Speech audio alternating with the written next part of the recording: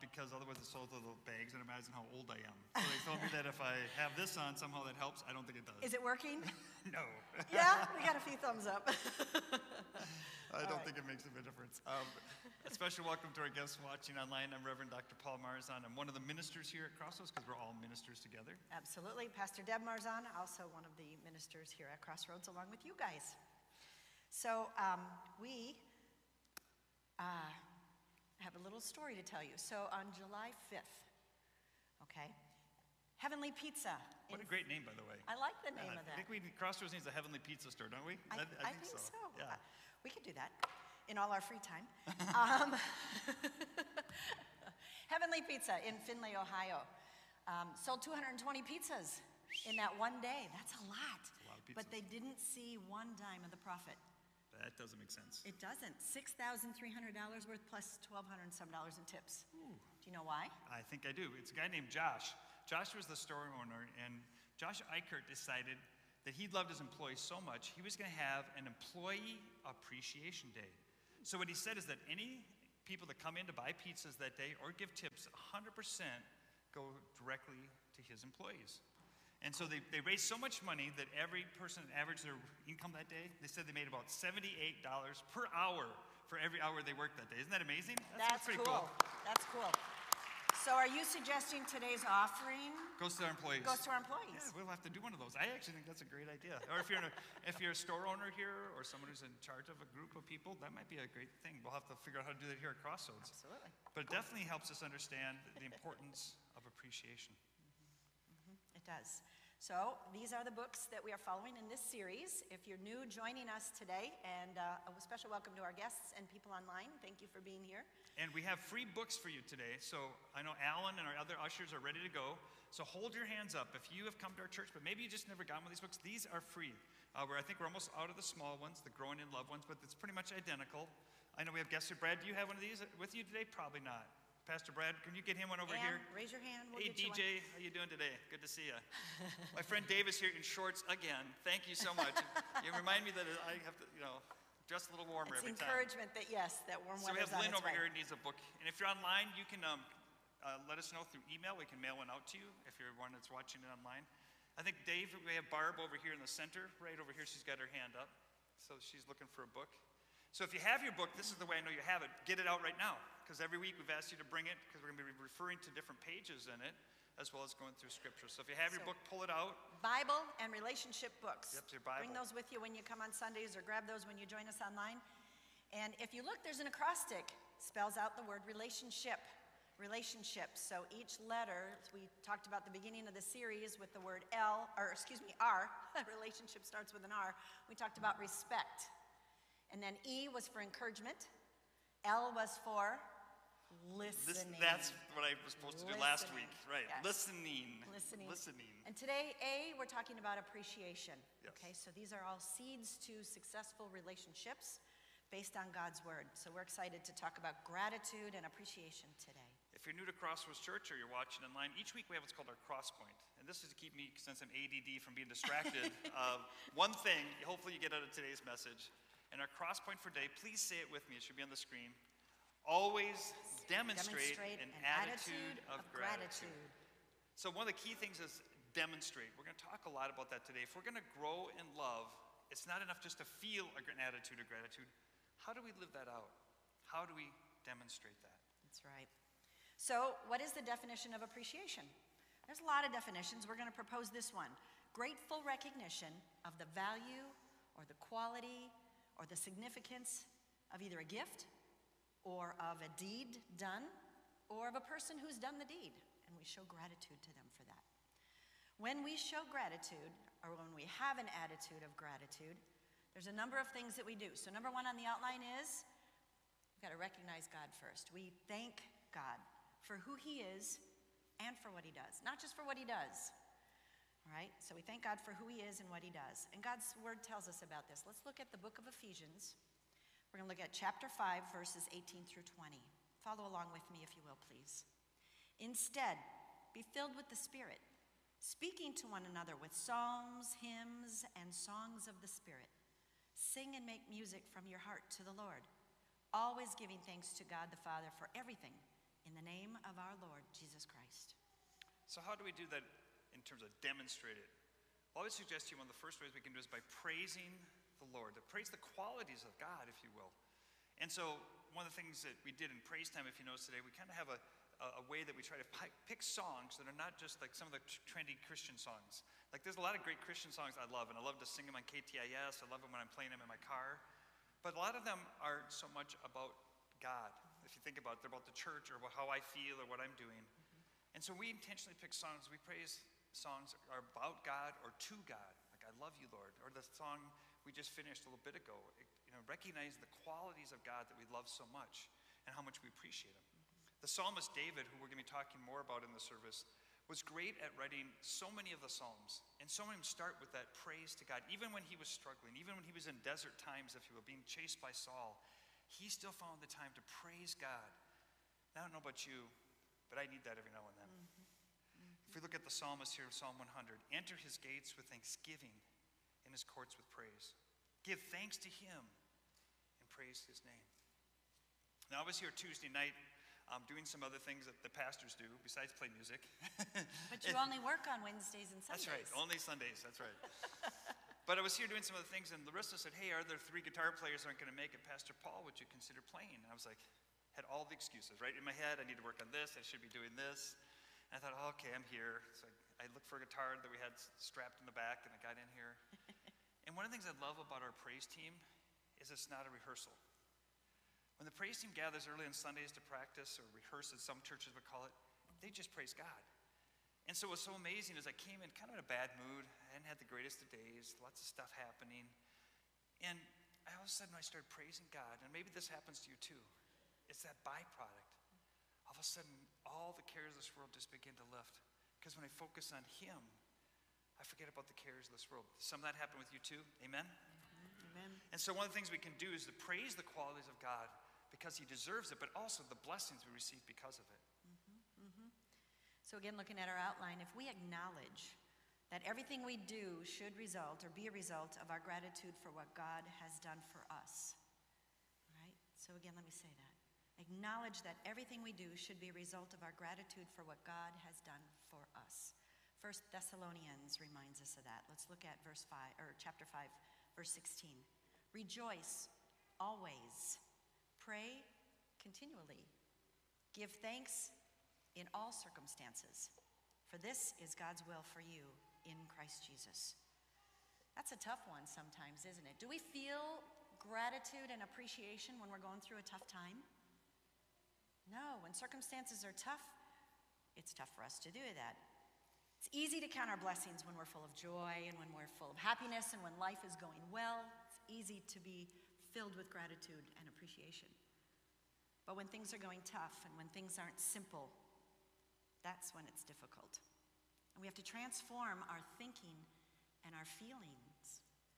I was trying to reflect on some times in my life where I, there were tough circumstances, and I was trying to find ways to be grateful for those tough circumstances. And you know, when you're younger, especially, that's hard because you think, first of all, you think you know everything. And then you think everybody should be on your side, you know, and, and maybe, okay, so maybe that carries on into adulthood too, but, but especially as children. And I remember in school is where it really hit me. So things were a little rough at my house, and I've talked about that before in sermons before. It's a it was a blended family. There were nine in the family, um, a lot of children, a lot of us trying to figure out who was mom and dad's favorite, and you know, just what our place was in the family and all those things. But at school is where I could be whoever I wanted to, and people could see me however I wanted to, and, or wanted to portray to them. And my teachers would see through me. And they would call me out. I can remember even from when I was young to high school to college and even uh, some master's degree classes where they were always pushing me a little harder. And I didn't appreciate that. School was not easy for me. I had to work really hard. I was a solid B, but that's because I worked hard. Solid B. I know I'm standing next to Dr. Paul Marzahn. But, uh, but, you know, so for me it was. But I really, when I look back, I think about the reason I was able to stay a B student, the reason I was the first in my family to go to college was because of these teachers who pushed me. And under those circumstances, now that I look back, I am so grateful that they did that, that they pushed me. And I would go back to my French teacher, I remember in college specifically. I thought, I practice all the time. I've lived in France for a summer. I'm not that bad. But he'd always ride me, and, and he would say, The reason I do that is because I know you have the potential, and I know you can do that. And I worked harder because of it. Do you find that as well? If somebody encourages you, that you work a little bit harder to maybe rise up to their expectations, and later on you look back and go, I am grateful that they pushed me that hard.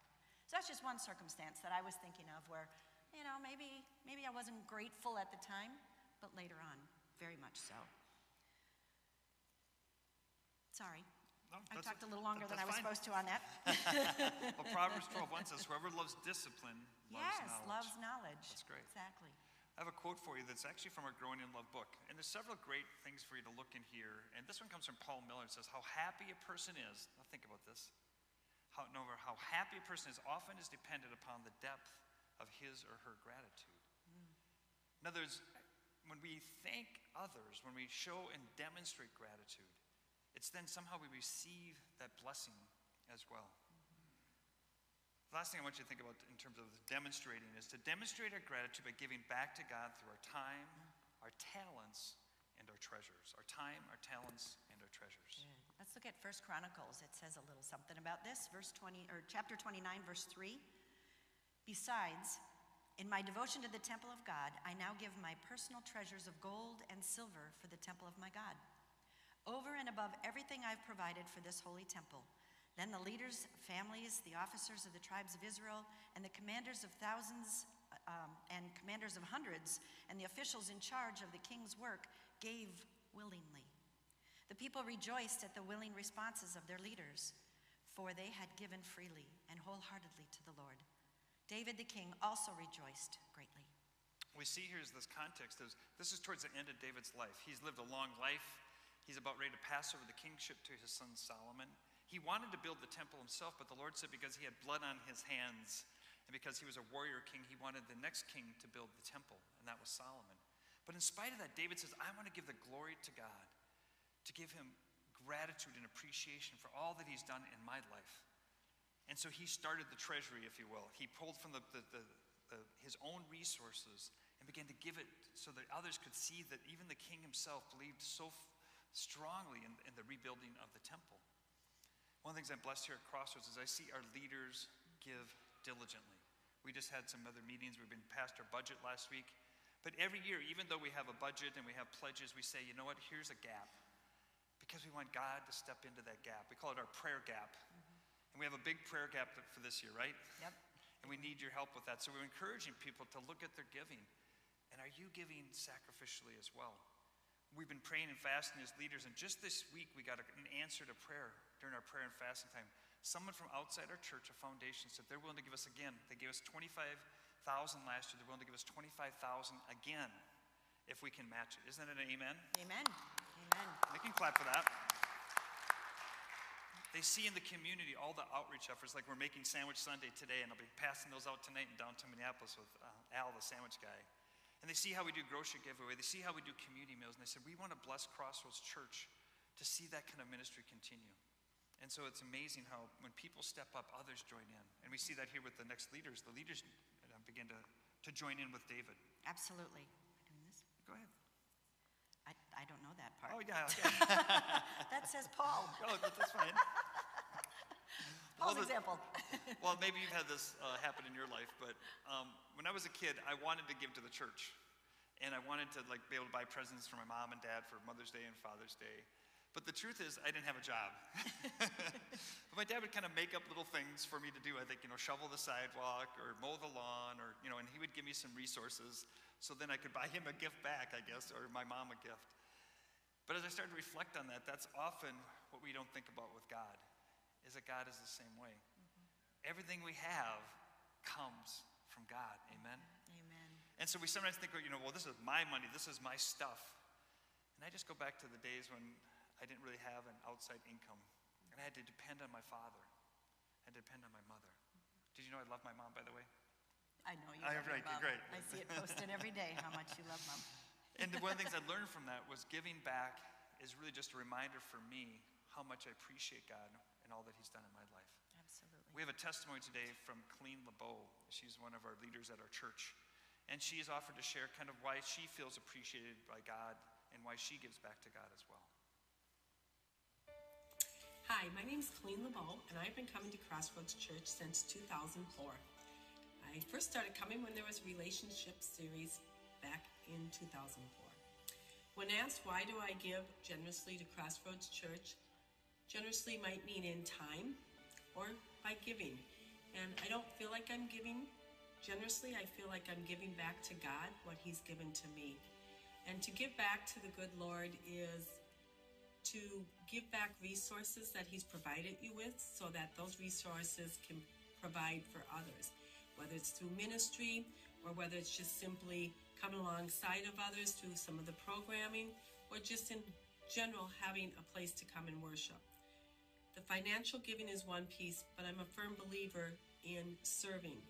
And when you serve, it's something you shouldn't serve to get back, but you do. You get back twofold. And I've always found that by giving, it keeps me um, more grounded as a person and it allows me to see different ways of doing things and meet a lot of different people and come alongside them. And that's why I feel others should give.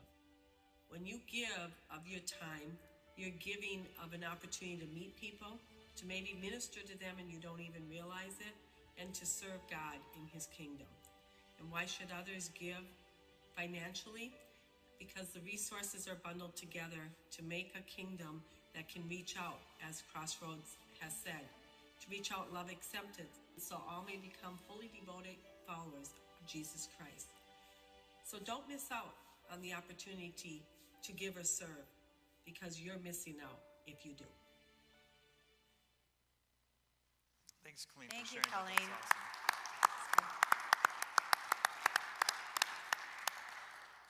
So we appreciate God. And the second thing is we share the gift of appreciation. Say that with me. We share, the, gift of, appreciation. Mhm. Again, let's look at scripture. 2 Samuel, follow along with me, please, in chapter 9. David asked, Is there anyone from Saul's family still alive that I could show faithful love for Jonathan's sake? There was a servant from Saul's household named Ziba, and he was summoned before David. Are you Ziba? The king asked him. At your service, he answered. And the king asked, Is there anyone left from Saul's family that I could show God's appreciation to? Now you have to look at the irony of the, or the context of this, because there had just been a major battle, and David had been chased for years by Saul and Saul's army, and there were those that were fighting against this. And unfortunately, what happened was David had made the command, "Do not take Saul's life," but somebody did that. But in spite of that, the, the army was routed, and David was then put into being the leadership position of king. Now, often what took place in those days was if you became king, you conquered all your enemies, but you also annihilated most of them. You either chased them out of your country or you had them assassinated, particularly anyone who's a living relative. Because if they're relative, then they may try to rise up and take the throne from you. And so there's most of them were killed. In fact, his good friend Jonathan was killed. But he had a son named Mephibosheth. And we're going to hear about that in just a little bit. And so what he found out was that there was one of the relatives still alive. And he wanted to show appreciation for the sake of Jonathan and reach out to him. All right, so let's pick it up. Yes, Ziba said to the king, One of Jonathan's sons, whose feet are crippled, where is he? The king asked. He is at the house of Amiel's son, Makar, at Lo Zabar. Ziba told the king. So King David had him brought from the house to Amiel's house.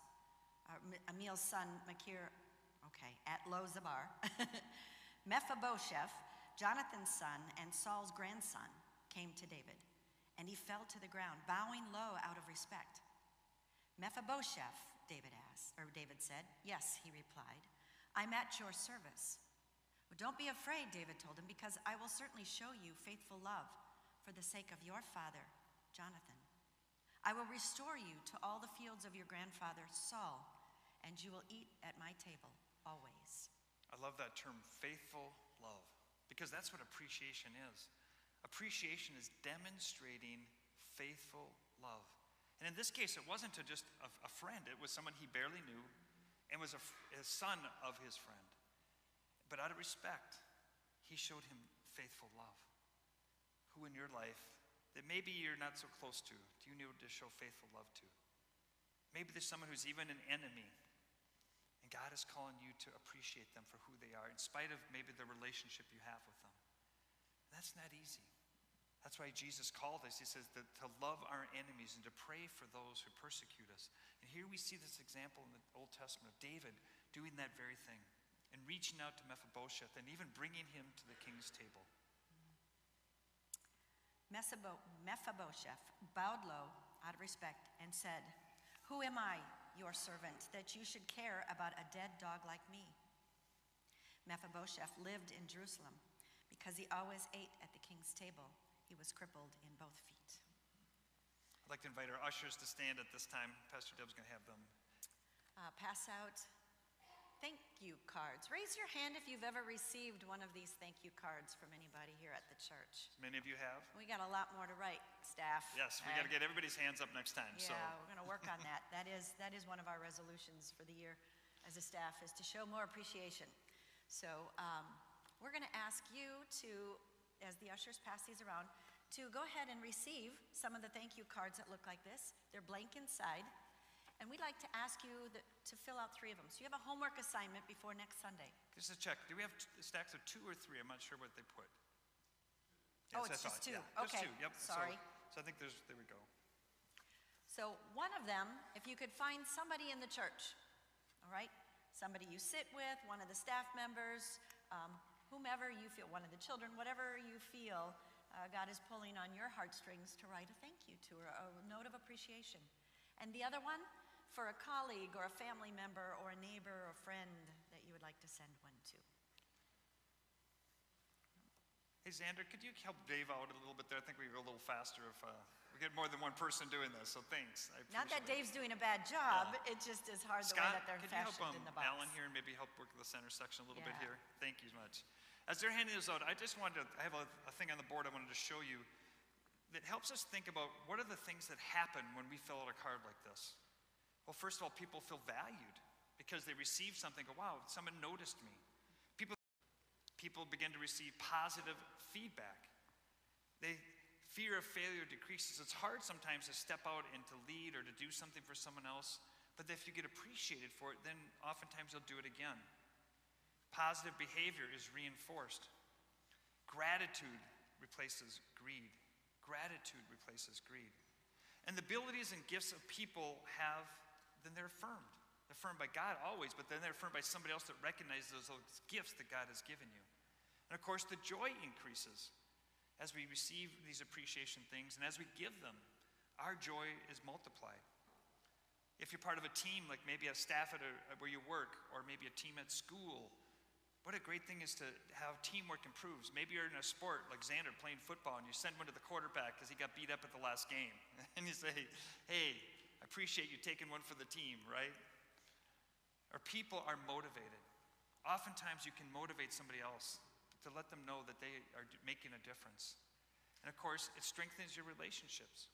Your relationships are brightened because all of a sudden now they realize that you really care about who they are and what you appreciate.